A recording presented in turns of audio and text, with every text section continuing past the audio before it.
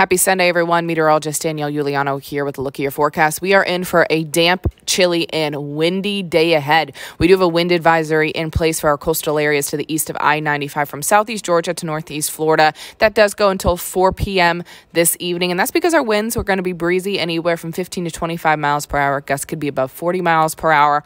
Also, with an area of low pressure sitting right off our coast, we're expecting off and on showers all day long today as those temperatures struggle to reach the upper 50s. Kind of a lazy day. Go ahead and grab grab that umbrella before you step outdoors. Temperatures will struggle to reach the 50s, and then we'll be into the low 60s by Monday with a chance for rainfall back into the 50s Tuesday, and then finally some sunshine come Wednesday.